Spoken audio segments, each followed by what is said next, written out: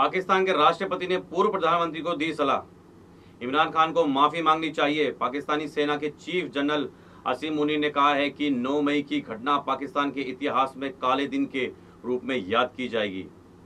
Army chief ने कहा है कि किसी को भी हमारे शहीदों और उनके स्मारकों को अपमान करने की इजाज़त नहीं दी जाएगी। उन्होंने ये भी कहा है कि जो भी दोषी है, उनके खिलाफ कड़ी कार्रवाई की जाएगी। सेना आर्मी एक्ट के तहत कार्रवाई की योजना बना रही है।